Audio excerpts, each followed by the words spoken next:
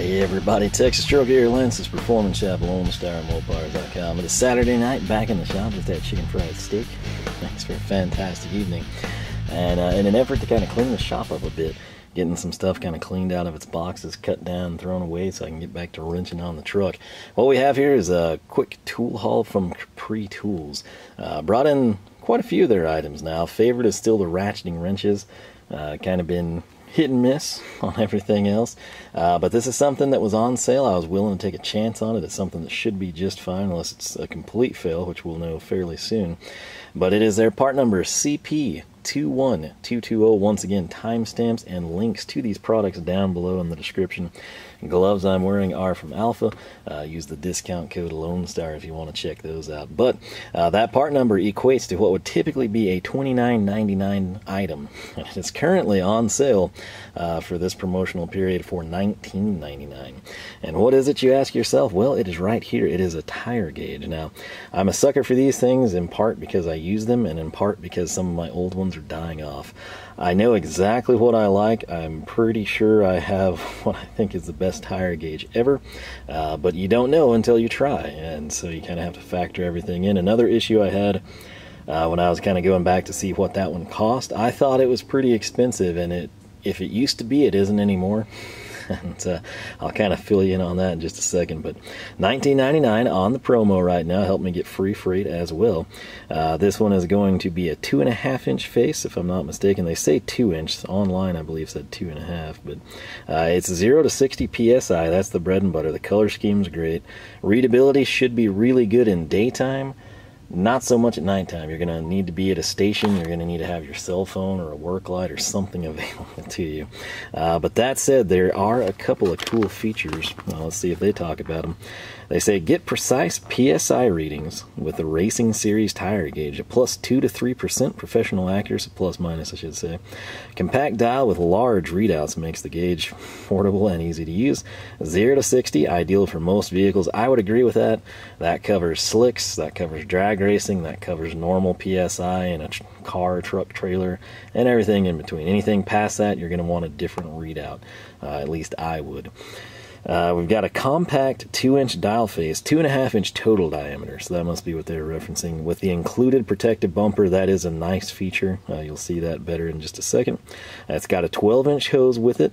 There's a built in pressure bleeder button for fine tuning. This I love, and the reason for that let's say that you're trying to dial your tires in a track and you drove there and you're going to drop them down, right? And you sit there and you're, you know, depressing the valve and everything. You're kind of looking at the sidewall and you're like, that feels about right. And you come in, you wanted to run 18 psi and you're at 21. With the gauge still attached, you can simply use the bleeder screw, evacuate the air while looking at the gauge, dial it in exactly where you want to. Same thing in a standard deal. Uh, let's say that you, you know, are out filling up and you kind of think, man, you know, my tire kind of looks low you usually run your truck tires at say 45 psi. You take a look, one's at 38, the others are at 40. As you go in and fill them, inevitably you're going to slightly overfill. Use this to bleed it down while looking at the gauge. You don't have to constantly connect, disconnect, see where you're at. You can just do it with the gauge. Huge time saver. Uh, let's see here. No battery, which that's nice. Uh, depends if you like the digital ones or not. Uh, meets all the ANSI. Check pressure on cold tires only.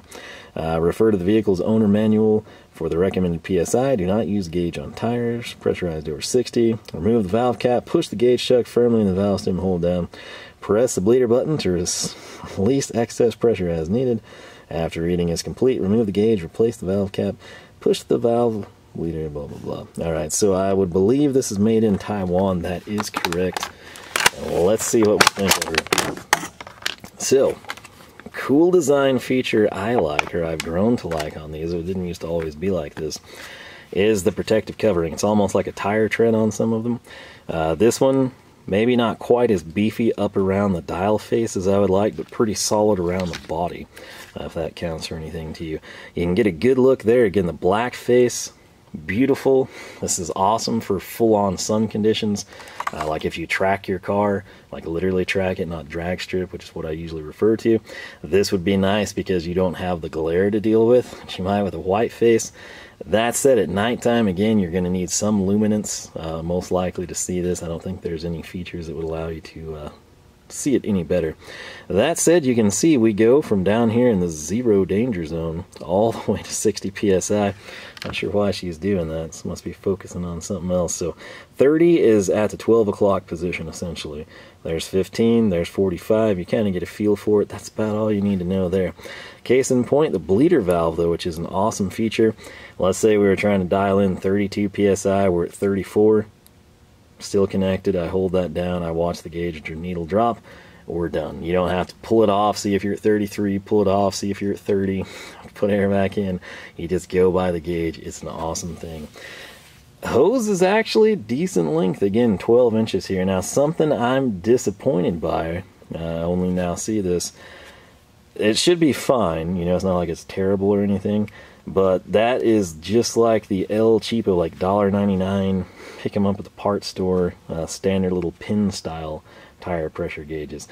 Interesting to note though, even though you can bleed the air here, it does have that stub on the back. That's probably just a default design. I would assume these are made for several companies. Some of them may not spring for literally the bleeder valve. And then this side right here would be nice. You don't have to do it with your fingernail. A lot of times I just use the valve stem cap. I found that it works better than my fingernail. It's more consistent. I can maintain pressure. That's just me it's, uh, I think it should be good it looks to be decently reinforced around the connection points that's usually where this style will fail because keep in mind most people don't keep it you know strung out in their trunk like this it's usually in a bag in a box you know in a something and it's going to be coiled at least to one extent. Uh, so keep that in mind. But I'm willing to give it a try. I'm willing to see what we think of it. Uh, possibly just ride through it in one of the cars call it good. But uh, what I want to do is showcase my favorite one ever. And a uh, long time ago, I bought myself an auto meter one, which was pretty nice. This one was way cheaper, and uh, it's the best I've used. It's from Joe's. If the face looks funky, it should. That's because it glows in the dark. This doesn't really glare in the daytime, and obviously at nighttime we can see it pretty good. This also goes to 60, but note the difference here, where these are just kind of, they are stashed. You know, you've got the hash marks there. This is individually numbered out. It's also a larger dial face, which makes a pretty big difference. Note it also has the bleeder valve, which I love. It faces straight up. This one is off to the side I kind of like it straight up. I don't know if that's just because I've gotten accustomed to this. This also swivels and is at the 45 degree mark. It's also, when you compare it to this end, of higher quality. This is a little bit more of a rigid hose. I mean, they're both flexible, but I just feel I have better play with that one. It also looks to be a larger diameter.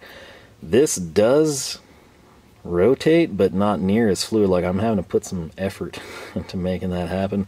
Whereas with this one from Joe's, I mean, it's just like on a swivel type of a deal. I thought this was expensive when I checked the price because I figured I'd showcase it in this video real quick. It's down to 23 bucks, and then they make them in all sorts since it is racing based. Uh, if you want like 0 to 15, 0 to 25, 0 to 30, whatever you can dream up, you can pretty much find it. But uh, this one, like I said, we will give it a fair shake. It could become my second fiddle. It could be something decent enough to keep in the vehicles. Who knows? What I want to do now, though, is move on to our next item.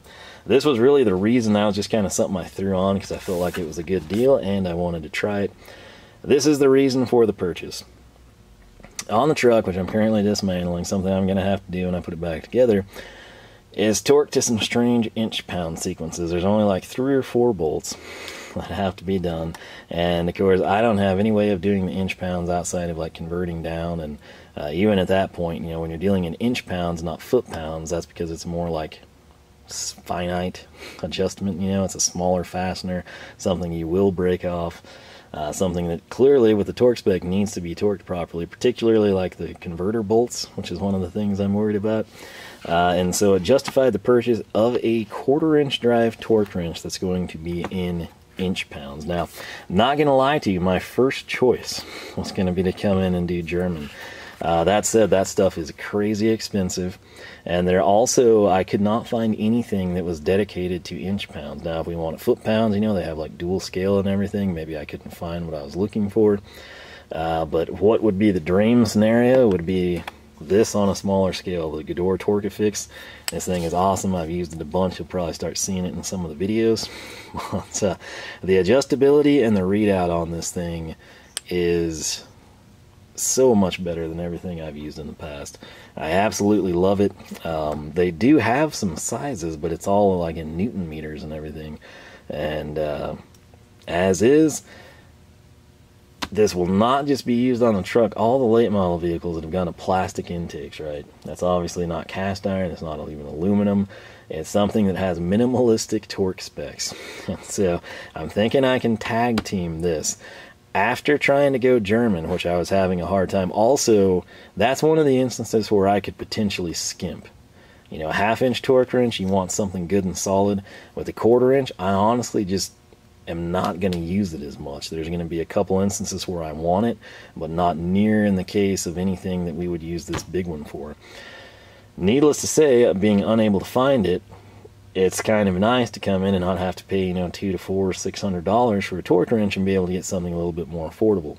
What I wanted to do was bring one in from Teng Tools. Uh, they've been having a big like tax rebate sale type of thing for like quite a while now. Like probably over a month. And I went to bring it in. I was like, yep, we're going to pull the trigger. I was going to throw some other items in.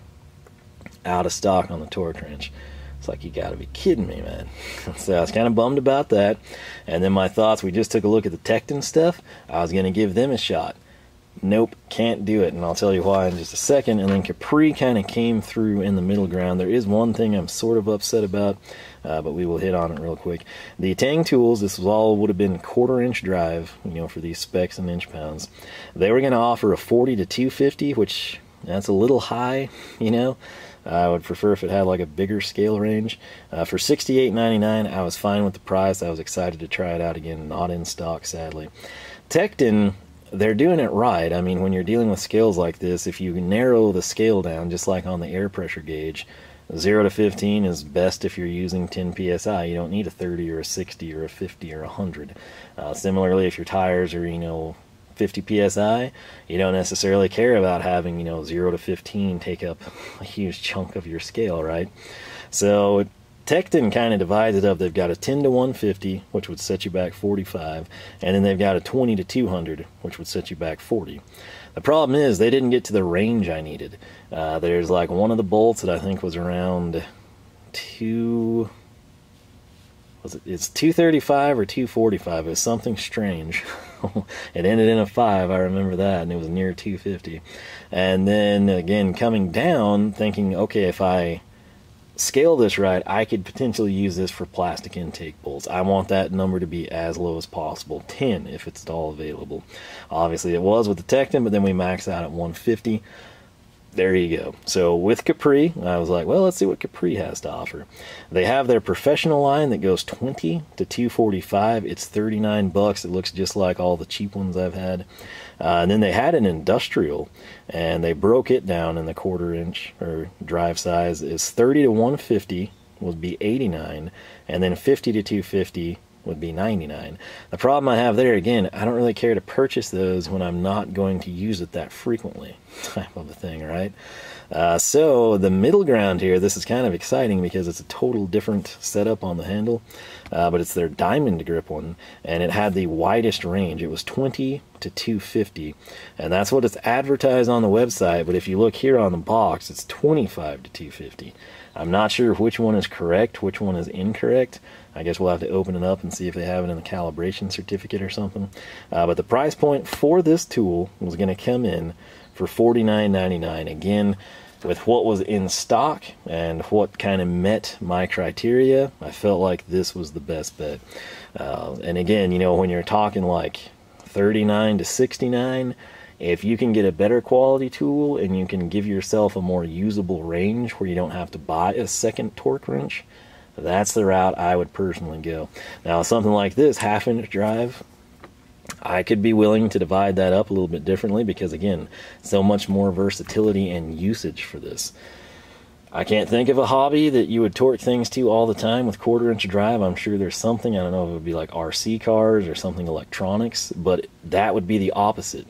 You would want to divide up your quarter inch drive and have the finite specs, and then if you're hardly ever going to use this, like you're only using it when you change your wheels or something along those lines, then skimp on the big size, right? But for me, the quarter inch is going to see minimalistic use, especially in comparison to half inch drive stuff. So uh, this is what I settled on. This is what I was. I'm hoping it's you know more like the uh, uh, ratcheting wrenches we have from them, and less like the breaker bar. The breaker bar has been okay, but I mean every time I use it, I still the handle complaint I made when we brought it in it's just exasperated when I'm under the truck or in the engine bay. I'm like, God, that handle needs to be bigger.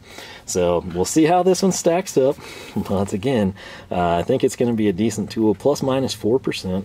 Uh, Newton meter people, you metric folks, 3.7 to 27.4. It's adjustable in 1.5 pound increments. There's kind of an overview of it. Uh, again, they do say the calibration certificate is included. There's your DIN ISO number, part number from Capri, 31 100 quarter inch drive indicated there. Let's see here, there's the goats. Some of the highlights, let's see what they say. Special diamond design, high impact resistant sure gear panel. I'm very excited about that, and that was honestly one of the selling points. It's not going to be the mundane, like cruddy knurled ones. It's not going to be like the overdone plastic ones that are cheap. It's going to be something different. And whether we like it or hate it, I don't know until we open it, but I'm willing to find out. Uh, torque range 25 to 250. Precision accuracy 1.5. Uh, certified quick release button, so that is present. Uh, certified to maintain the accuracy for 5,000 cycles. CNC machine components for consistent accuracy. There's our quick release. That's kind of a neat feature. That's something you don't always see on a torque wrench. It has a positive locking ring. This was another thing. With this Torcofix, I love how you change it. You pull that blue knob out at the bottom and you turn the handle. Uh, it's way nicer of a setup than some of the stuff I've had. Uh, this is kind of a similar type of a thing. It's the old school readout, but kind of like with the modern flare, doesn't have like an adjustable knob at the bottom that locks and unlocks and gets stuck. Uh, right there, they claim that they're engraved non-fading and easy to read. We'll see. And again, diamond handle, high impact resistant ergonomic handle, for a sure grip. So let's bust her open, see what we got to work with here. And again, this will be my first ever quarter inch drive torque wrench here at the house. So hopefully it doesn't suck. That's what, that's what I'm going for here. So nice, decent case. It's pretty much ubiquitous with every other torque wrench I bought. Doesn't seem to be a sticker. Just, I'm just saying, you know, that, has been a thing here lately. Uh, there is the brochure, though, our Diamond Grip User's Manual and Warranty. And uh, we won't spend any time on that. How about it? We're just going to jump right into this because I want to get to the truck. Here's the case. I like when these uh, blow molded cases have a pad like that uh, because it allows me to come in and put my name and information a lot easier than having to etch into the rough surface. This, for what it's worth, where Capri's logo is, is also smooth. But uh, something like that is appreciated. It's also for people unlike me who just use, you know, like a little etch tool if you print your own labels, it's good for that as well. well it's a, again, typical design, the clamshell that you come, it's very light, uh, come to expect in these tools. And it looks like this is a multi-purpose case. I say that, why? Well, check this out. I'm assuming this would probably be for a 3 8 I don't think you'd fit a half inch in there. I guess you could if it was smaller profile. But I mean, for all I know, this could be quarter 3 8 and half inch. And maybe they have two different lengths on their 3 8 ones, or the handle style. With I bet the adjustment knob actually on some of those, uh, the cheaper drives, just like I have up in that case there. I'm betting that that's probably where your 3 8 would sit. So this probably would be the same case for quarter 3 eighths or half inch. Some of you may sneeze at that, but on Capri's part, that's pretty smart. It saves them money, and then in the event that your case breaks or you lose it, you've got options, right? So this would be all, oh, there's the sticker. I apologize. I was going to say, if Capri doesn't send a sticker, I mean, what's really going on here? Right here, this is claiming 25 to 250 so since this is on the official paperwork it was also on the box again online it said 20 um, but it is what it is. You know, we're missing the first five there, so hopefully it won't be a deal breaker. We won't spend much time with that. Uh, if you're interested in this stuff, though, it's always kind of cool to check it out. Looks like it's well within spec, though. That's pretty respectable. All right, so that's good. That's kind of reassuring. Right here, though, uh, we have got the money shot. You know, this isn't a bad little tool. This is a, little better in hand than I thought it would be. So read me first. Well, that must be important, so I guess we will. This is critical, and I'm glad they put this. The fact that you see something like this on the torque wrench at least makes you think that they did a good job manufacturing the tool because they care enough about it that they don't want it to fail. Always set the torque to the lowest setting before and after each use. Which technically, you know, if you bottom it out, you're you're going to be there before, but you know, whatever. We'll give them we'll give them credit. At low torque setting, pull the wrench slowly before you can hear a click. Cool. We will uh, keep that in mind. and uh, hopefully nothing was back here. It's all the same beautiful. Uh, coming in right there, we just got a safety sticker we'll try to get off because it's kind of raised and annoying. Uh, the body of this thing, though, not bad, I have to say. I'm kind of impressed. The handle,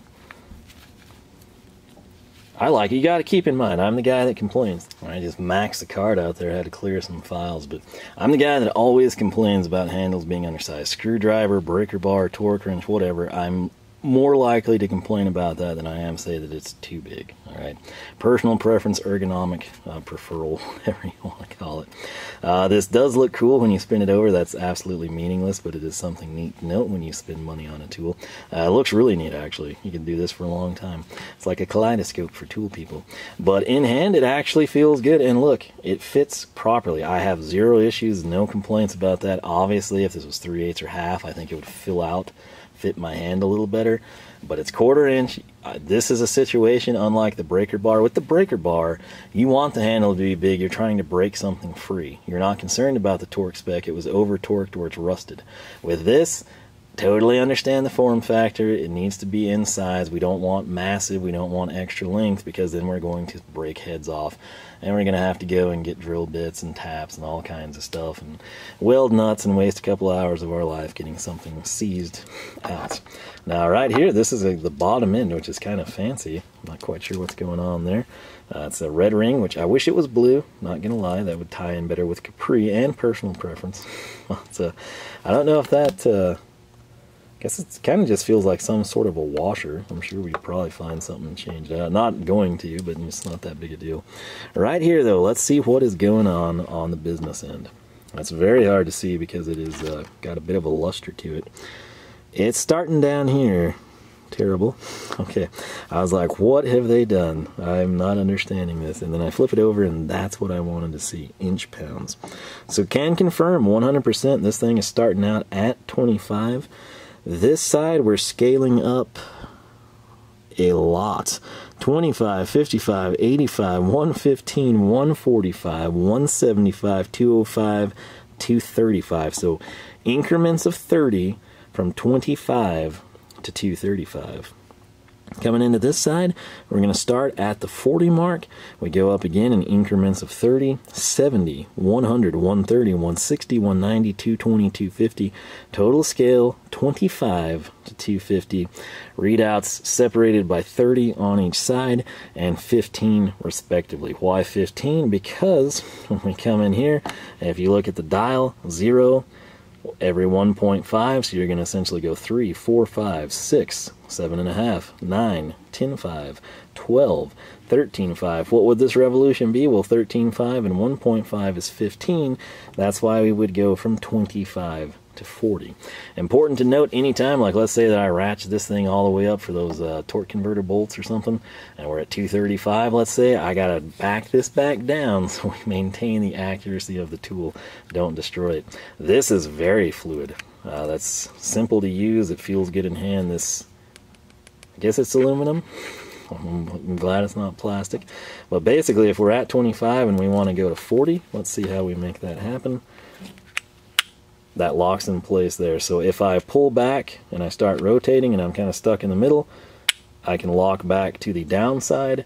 I can also twist and lock back to the upside. It's going to positively retain to the closest 1.5 mark. But let's come in and turn it all the way first 15. That should put us at the 40 foot inch pound mark. I'm sorry. and uh, that it did.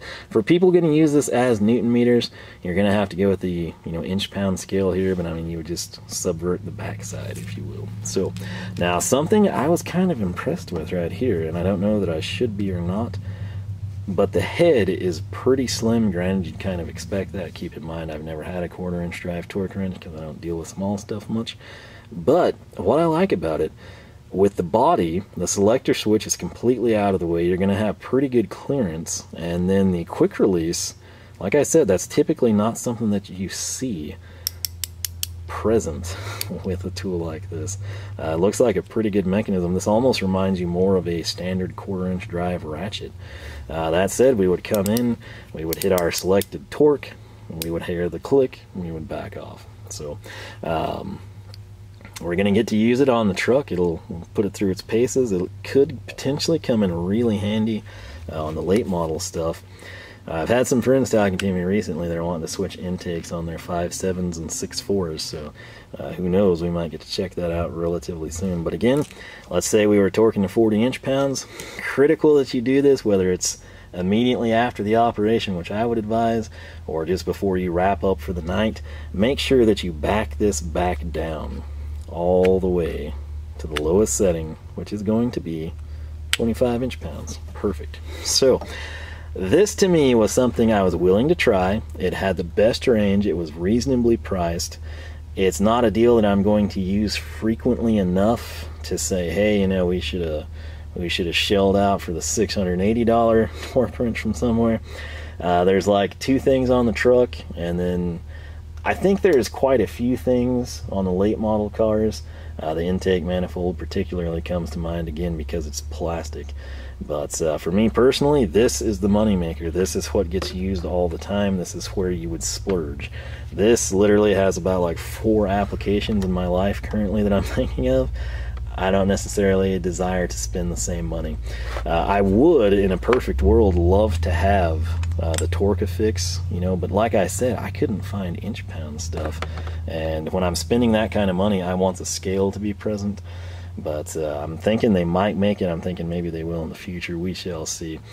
But this is what we brought in from Capri. You know why I got it. And uh, I'm kind of excited. Like I said, this handle here actually feels pretty good. And it does for what it's worth. It has a decent ergonomic factor to it.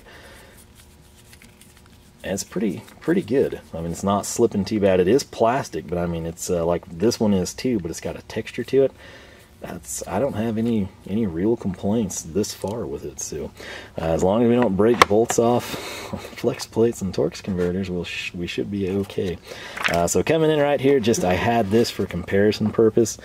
Uh, my Craftsman torque wrench, if you watch the one on this Gedore, you'll remember it was my first torque wrench. It died. It got stuck. Um, can't use it, so this was just something I brought in from Summit. No clue who makes it. It's been pretty good, uh, but you can see what I'm saying here. It's got the ball detent, yes, but it is not quick release at all. It's got the chrome release, and then right here, that stupid little knob, which this one's been good to me. Um, but that knob, I'm thinking, is probably why you would increase the 3 eighths and this style would tuck in here. At the top of the slot I'm thinking the knob would push it there and then I think their half inch would probably tuck in there. So uh, this one's kind of more of like a dedicated case so I kind of this is the handle comparison though. You've got super fancy super expensive super awesome. You've got really reasonable kind of old school knurling and then you've got the diamond handle. And I gotta say I mean it's right on par with this one so uh, the accuracy is important. Uh, the functionality is important. We're gonna figure that out uh, again hopefully pretty soon. Kind of depends when everything gets squared away at the machine shop. But that said, that's what I brought in. That's all I got this time, just the uh, air pressure gauge and the torque wrench. Uh, I'm excited to try both of them out, I'm not to lie. We'll see how we like that one. Uh, but knowing now that you can get these for $23, that's a pretty good deal on the Joe's one. So uh, if you have the Capri one, how are you liking it? How do you think it compares to something like this? Uh, similarly, with the Gedore Torcofix, it's probably the best torque wrench I will ever use, but it's certainly the best one I own and have currently used. Uh, this one, though, I'm excited to try it in the quarter inch drive. If any of you have the Capri Diamond torque wrenches, how do you like them? Similarly, if any of you have Tekton or Teng, some of the uh, European viewers might have some of those Teng torque wrenches, how do you like them? How do you feel they compare across the board? You know, to your cheap ones, to your kind of intermediate ones, and to your over the top, super awesome ones. Uh, always interesting to know for future use. And uh, ultimate goal here showcase what we got, let you know why we got it, see if it'll work for you, allow you to share your thoughts and opinions, particularly from first hand feedback. But with that said, I don't think I have much more recording time. It's getting dark. I'm going to put the door down. I'm still airing out the ballast. I'm going to put the door down uh, keep the bugs from coming in, and uh, get back in the engine bay, start pulling an intake manifold. So, with that said, as always, thank you so much for watching. I do hope you enjoyed timestamps links, as always, down below. Speaking of links, Lone Star Mopar car just maxed out again, so I deleted something that hopefully I don't need. But social media is where I was at. Uh, all three Facebook, Instagram, and Twitter at Lone Star Mopars. Hope everybody has a great weekend. Hopefully, you enjoyed the video. Again, any thoughts, first hand feedback, feel free to leave it. With that said, I got to get back to the engine bay. And I will catch you here in the next one.